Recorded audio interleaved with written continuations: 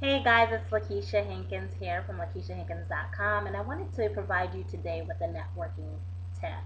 Um, and my tip that I want you to take away today, that I want you to go out there and you know keep in mind as you're building your business, is to try to provide as much value as you possibly can. Okay, because the more value that you create, the more it will come back to you many times over.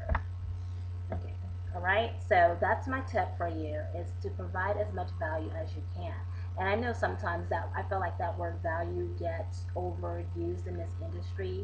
And you know, the definition of value is to really, you know, something that is held of deserving, something that is of importance, um, something that is of of worth. It's worthy of something, right? So provide value. Make sure that you're adding value to the lives of others and which brings me to you know when you're out there when you're connecting when you're meeting people uh, whether it be online or offline that you focus all your networking efforts on helping the people you contact right?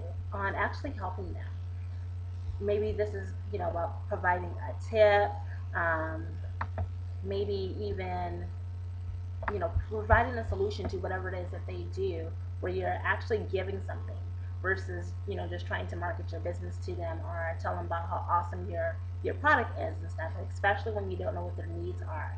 So really just focus on adding value and helping people okay? So that's my tip for you today. Um, I hope that you you know you enjoy this so if you did. If you think this is a great tip definitely you know leave me a comment um, like this video share it and I will see you on the next video. Have a blessed day